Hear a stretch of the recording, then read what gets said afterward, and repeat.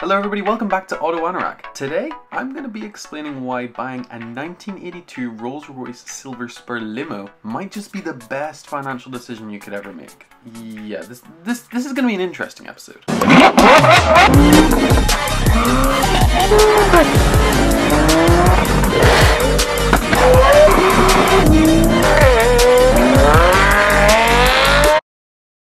Upon stepping into a 1982 Rolls Royce, you will realise three things. Number one, it stinks, after years of its once plush carpeting being drenched by water via the leaky roof. Number two, it stinks, of oil that has been leaking from its underbody amongst a million other miscellaneous liquids. And thirdly, it will assault your nose so badly that you will want to run away from its cigarette-stained interior and use a Toyota Prius to escape from its vicinity.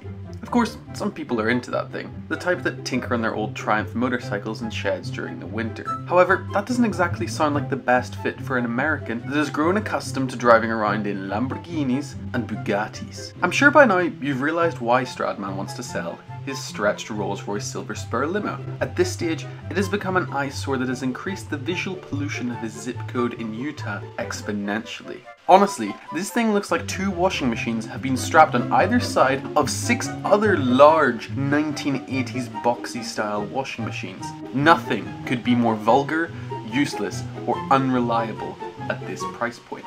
It really has it all. Starlight headliner, automatic opening doors, and a working fridge for champagne are all things that this car doesn't have. It's a vehicle from the glory days of Rolls-Royce, when the company wasn't restricted by the constraints of the Germans that wanted to do preposterous things such as making cars that carried out the process of movement. Now, I know what you're thinking. When can I pick one of these bad boys up and how badly am I going to have to remortgage my house? That's the beauty of it. You can get into detrimental financial trouble as a result of maintenance expenses, devalue every house in your neighbourhood, and get the same miles per gallon as a semi-truck for less than $20,000. But I'm not even being sarcastic. This car is perfect for one job. One specific job. The job of any aspiring automotive YouTuber. Scratch that, actually, any YouTuber. For example, Hoovie's Garage, Garage? Garage, I don't know, I'm, she always says garage, but I'll just say, Hoovie's Garage made his fortune buying cars that he sold for crippling losses. That is an utterly genius business plan if you ask me. It really is. Well done, Hoovie. Even more so, we should look to other content creators outside of the normal supercar world, such as Arac.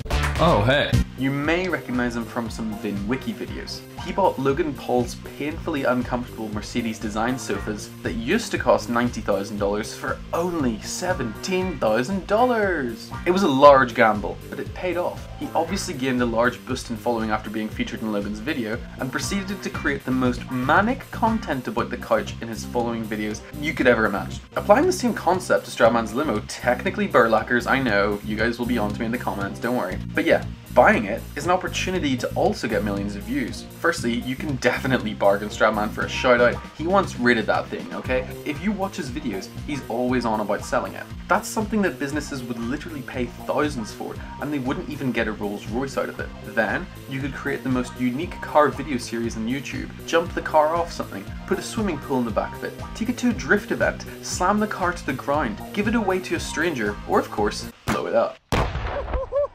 These are all monster ideas that could propel someone's YouTube channel into another hemisphere. Of course, if we got 50,000 subscribers on our channel, I could probably fly out to Utah to buy it, so make sure you subscribe and then we can do things like that in the future. However, I don't think that's going to happen overnight, so unfortunately, we might not get there. But subscribe, because these videos are a lot of hard work and I really appreciate it. I might even do a giveaway in the future, you never know. For the meantime, if you know anyone that can actually do this, and go to Stradman and buy the Rolls Royce off him, refer them to this video so that they can see all of the once in a lifetime opportunities that are to be had with this Rolls Royce, okay? Arac gained millions of views for his couch series and is now past the 500,000 subscriber mark. This man started his channel in January with 50 subscribers. If people on the Strad channel knew that a series like Arac's was coming up for the Rolls Royce, they would freak out. I'm sure you would all like to see a video series with this stupidly fantastic car, and I pray that the owner is friendly with their local mechanic. I mean, to be honest, I don't think Hoovie's Garage would really work if the wizard wasn't there, so yeah, make sure you're friendly with your local mechanic. Anyway, Stradman, I'll be expecting some commission when this video inevitably makes the Rolls-Royce appear too irresistible to not buy, but until then, I'll see you guys in the next video. Have a great day, everybody.